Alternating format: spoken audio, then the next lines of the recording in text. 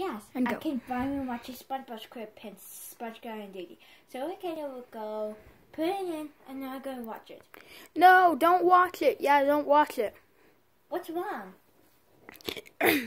It has that scary Paramount DVD logo in it. Oh, No one has survived that.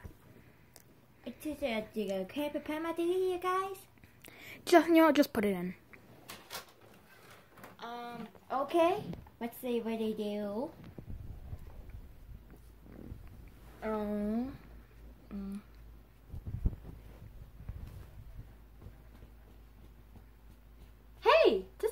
Just go go on your fish to find me. Ooh, nice guy. Wait, flying stars? That's not the same thing.